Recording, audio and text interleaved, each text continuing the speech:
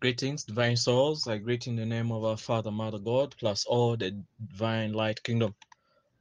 Uh, I ask you kindly for all the words that you're going to listen to, in, co- in case they don't uh, resonate with your heart, I ask you to discard them or use them to jumpstart the truth that is within your being.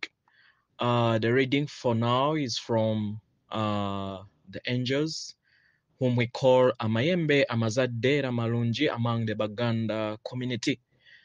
Uh, it goes like this greetings my our dear friends. Uh, we love you so much. Um, pray with us for a moment here.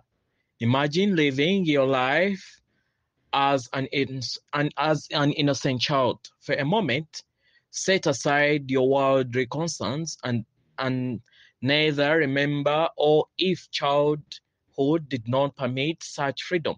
Imagine living this way. Imagine waking up, eager for the adventure of the following day. Perhaps you were doing something you enjoyed before bed, and you cannot wait to wake up and get your cures, your cure, cures done and pray again. Perhaps, uh, perhaps you have the the promise of going on an outing that you are looking forward to and you are not sure if it is tomorrow or 10 days from now since time is not uh, is not a concept you have fully mastered. Perhaps um, you are thinking of all the fun things you can do in your life. You may have school or schoolwork but you must do it and you uh, breathe through and breathe through it while looking forward to the rest of the fun uh, you have imagined. Perhaps uh, you look at someone uh, very angry and different from you, and you and you watch them with a sense of wonder. I wonder why they are so mad. What's wrong with them? Are they okay? Perhaps you see someone someone crying. I wonder why they are so sad. I want to give them a hug. It's going to be okay. You are fresh from heaven. You know the truth. Perhaps someone you loved died. You missed them, but you know they are in heaven and you walk to them in your mind. Oh, I mean, you talk to them in your mind. Dear ones, this innocent, uh, wise one still lives within you. This is the authentic you at the very core. It is the pure, unadulterated, innocent, wise, knowing, trusting spirit within you. No matter who did or did not understand this bright, beautiful core of your being, it exists. No matter who abandoned you or controlled you, it exists no matter who cherished you or advocated for you, uh, belittled you, like ridiculed you, ashamed you, or abused you, it still exists, untethered, innocent, pure, wise, and waiting for you to bring this beautiful light of God within to the surface. We hear you. I am abandoned. That's what you say. Many of you were abandoned by human beings, some, phys- some physically and some mentally. And you need not and you need not abandon your own pure and beautiful spirit. I was abused. We we ask we, we hear you saying that. Yes, we see this. Many of you were treated in unthinkable ways by those who lost their ability to think and feel from their spirit years before you were born.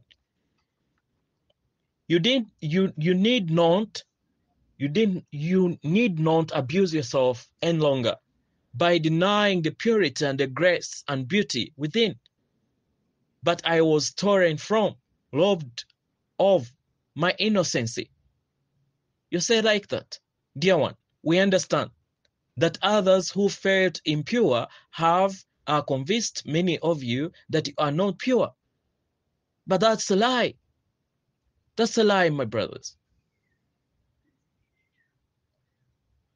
Even if someone has defiled the temple of your body, the spirit within is pure, holy, and unadulterated and innocent still. You may have forgotten. You may have you have you may have been convinced by those who were convinced uh, of their own lies. You may have been conditioned and trained to praise the brief systems of others, and nevertheless, this pure, wise, innocent, holy being exists within, patiently waiting for you to acknowledge its presence. Take a moment. Breathe deeply. Allow yourself a moment to relax into the knowing that there is a pure, wise, innocent, and holy being within you. This is no less than the spirit of the divine in the form of your unique, precious, and very individual soul. This is your core essence, the true you are as an individual.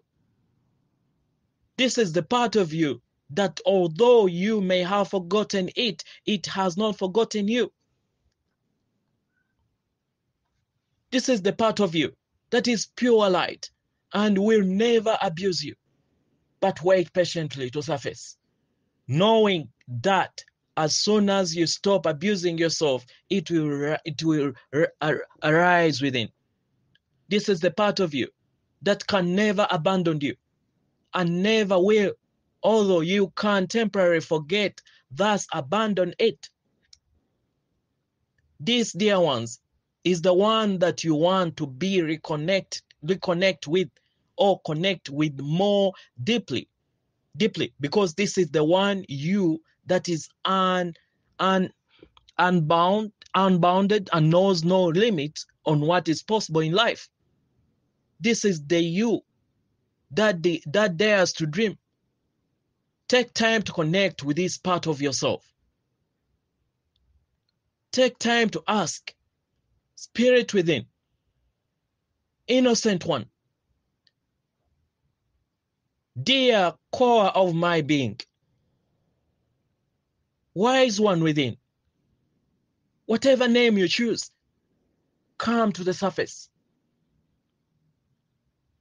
Rise up within me. I love you.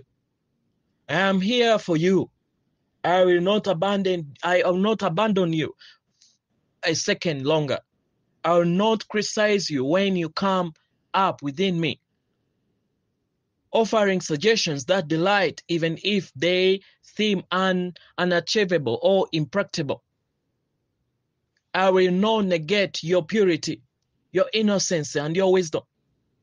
Rise up within me and guide me I love you. I know you are the truth within me. What would you like me to know right now? Then wait, my brother. Wait, divine soul. Breathe. Wait for the pure, innocent, wise, loving being within to tell you present day you what it wants you to know. Then be open to receive the pure, innocent, wise, loving guidance from your true self. Do this often, my dear ones, and your life will start to change. The divine child wants you enjoy life and embrace every moment with a sense of, of adventure. The divine child rests in the, in the security of God's love. The divine child does not think to judge facts, friction, or form. The divine child loves to love. And dear ones, that is the true, deep, real, wise, innocent loving you. God bless you, and we love you so much. We are the angels. Uh, before I conclude this reading, I want to help mostly the newcomers or those who don't know how to connect with your divine one. Uh, set an intention uh, with an intention, being guided my with my spirit. Uh, call on all uh, your divine, or call on all the divine um, light beings uh, within your family and within all uh, the creation. And then after that, I'm speaking this for, uh, in, in a general way because among the Baganda, we use coffee beans as we make this procession. Now, when uh, imagine getting into uh, a pyramid, imagine getting into a pyramid or any house, you can imagine any house that is white.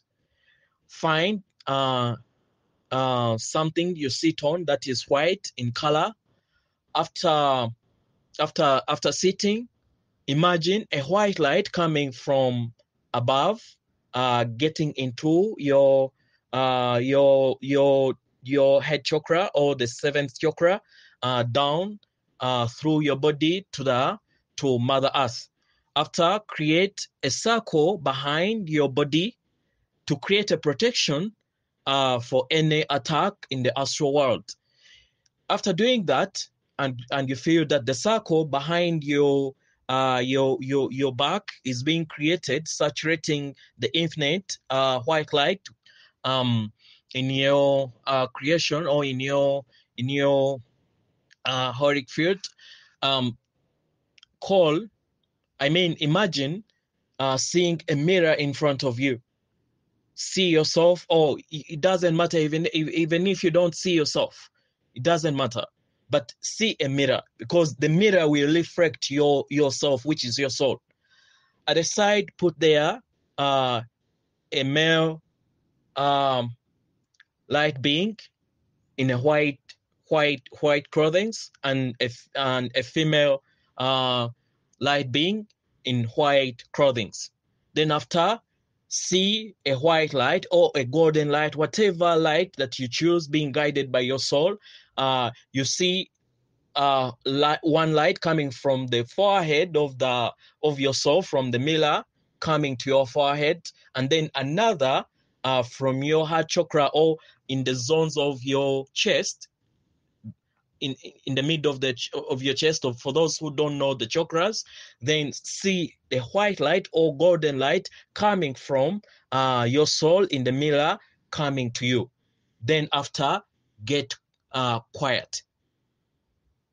You can do this uh, always in the evening instead of making verbal prayers. This is a major prayer because it it it charges you to be uh, your soul.